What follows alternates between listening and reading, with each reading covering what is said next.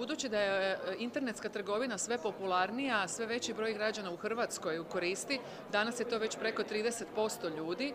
postoje određena ograničenja koja ljudima otežavaju internetsku kupovinu. Na nama je da ih maknemo, odnosno da spriječimo mogućnost da netko, recimo, zato što si iz male zemlje kao što je Hrvatska, ti naplati dostavu 3 do 4 puta više ili da recimo dostava u jednom smjeru košta 12 eura, a u suprotnom smjeru 30 eura, a ista je relacija u pitanju. Znači, trenutno na tržištu postoje,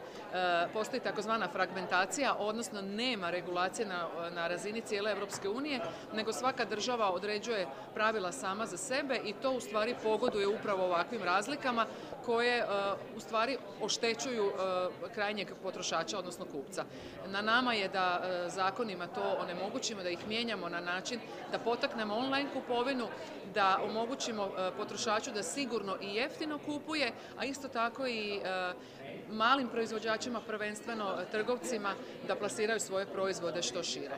Uredba bi trebala biti usvojena u parlamentu do ljeta, nakon toga idu trijalozi, dakle dogovor između komisije vijeća i parlamenta i pretpostavljam da bi negdje do kraja godine mogli imati već krajnji prijedlog, odnosno usvajanje na razini sve tri institucije.